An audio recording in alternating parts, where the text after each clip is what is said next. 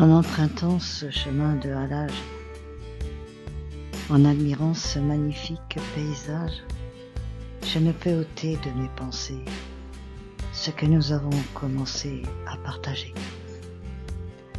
Dans ces instants où le temps s'arrête, où les émotions soudaines s'apprêtent, dans une communion parfaite, répondant à nos requêtes. Le désir est là, il m'éblouit.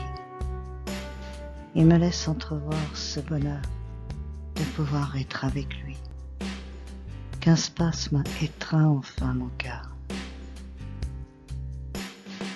L'amour et la tendresse rejoignent mon âme poétesse, m'enveloppent de leur douce chaleur, heureuse d'avoir cet amour au fond de mon cœur.